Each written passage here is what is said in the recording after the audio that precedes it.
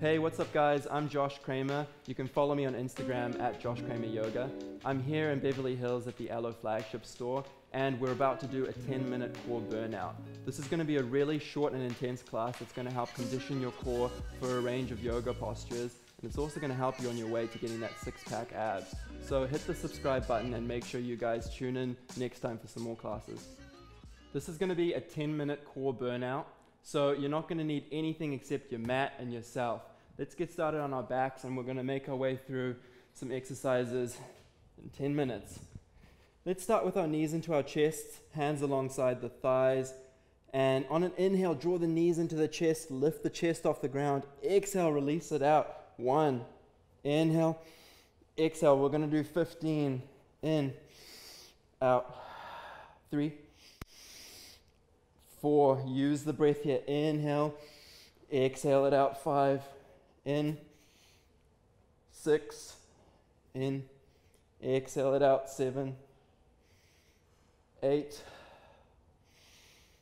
nine, ten, eleven. Use your breath to save the energy. 12. 13. 14.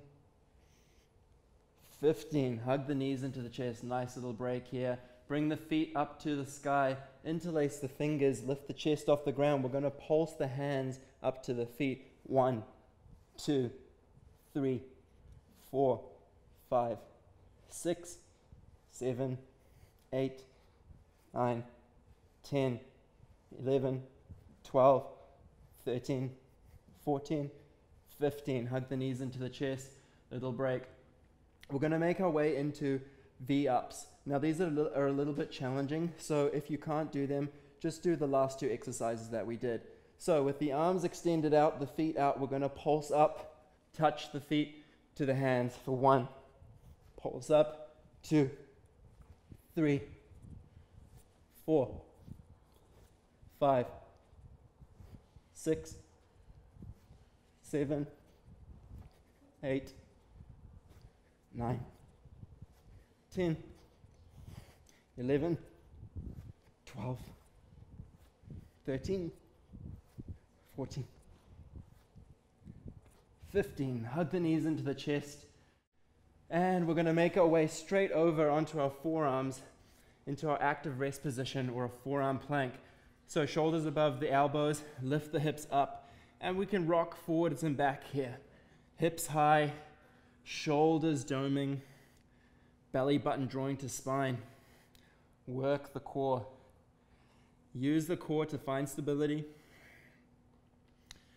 in addition to repetitions, it's important to find these static postures where we're holding uncomfortable positions for an extended period of time to build stability.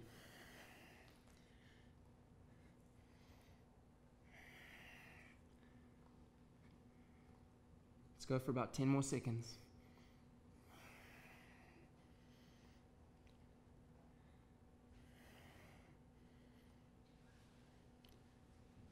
Five, four, three, two, one. Make your way straight back over onto your back. Hug the knees into the chest. We're going to do slow yogi bicycles. So extend the left leg out, hug the right knee into the chest, crunch left elbow to right knee. Take an inhale. We move on the exhale. So inhale, left knee to right, left elbow to right knee. Exhale, right elbow to left knee. Inhale, hold it there. Exhale, twist. One, two, three, four, five, six, seven, eight, nine, ten. 11, 12, 13, 14, 15. Hug the knees into the chest, little shake. and bring the legs up to 90 degrees. We're going to do little flutter kicks here. So start crisscrossing the ankles in front of each other, hands alongside your thighs, and start to lower down slowly, bringing your feet closer towards the mat, nice and slow. Chest off the ground, belly button to spine. Slow, controlled movements. Don't go lower than you're capable of. These are tough. Right just above the ground, start to make your way back up. Take a little break, 90 degrees. You can hold behind the thighs if you need to. Make our way down one more time. Slow and controlled. Maybe slow it down a little bit. Still the same work. It's tough.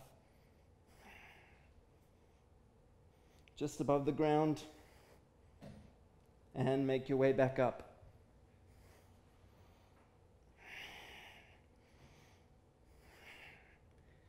Coming up to that 90 degrees. Take a little break, hug the knees into the chest. Make your way straight over into our forearms. This time, have the hands in line with the elbows. So, more of a sphinx pose here. What we're going to do is sphinx lifts. We're going to do 20 of them. So, from this forearm plank, lower the hips down towards the mat and pulse them up as high as you can. Imagine that there's a hook attached to your lower back, pulling you up to the ceiling. Lower them down and up for two. We're going to do 20. Three, four, five, six, seven, eight, nine, ten, eleven, twelve, thirteen, fourteen, fifteen, sixteen, seventeen, eighteen. 19, 20. Make your way over onto your left forearm. Stack the feet, forearm Vashisthasana. Right hand on the hips, lower the left hip down to the mat.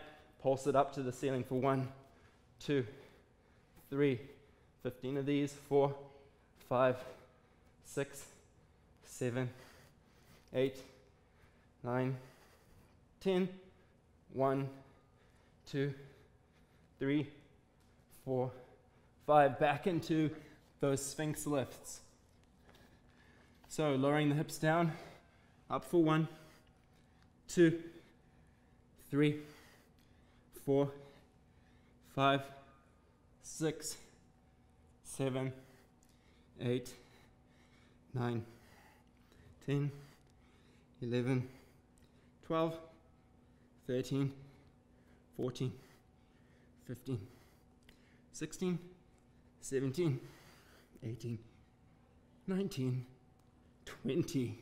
Make your way onto your right forearm this time. Stack the hips. Forearm Vashisthasana.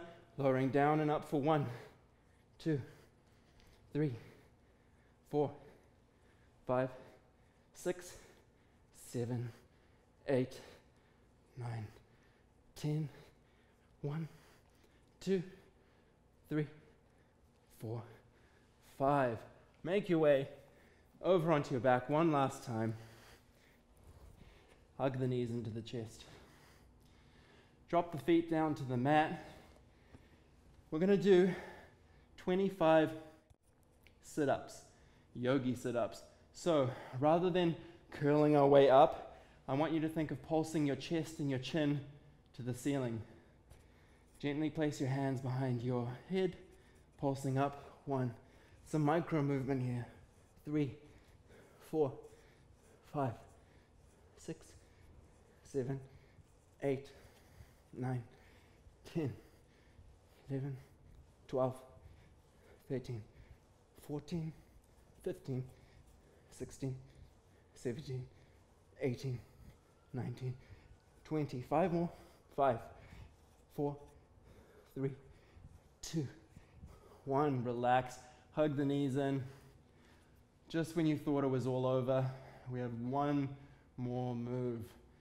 Last one, make it the best one yet. So we did our yogi bicycles.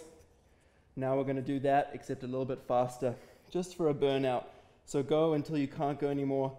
And we'll start going for about one minute, maybe two. We'll see how we feel. So extend the left leg out, left elbow to right knee. Start moving. Use the breath here. Control movements. Called core burnout for, for a reason.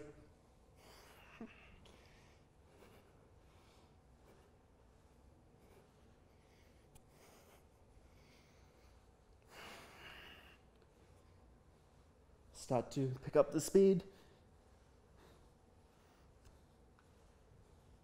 10 more seconds.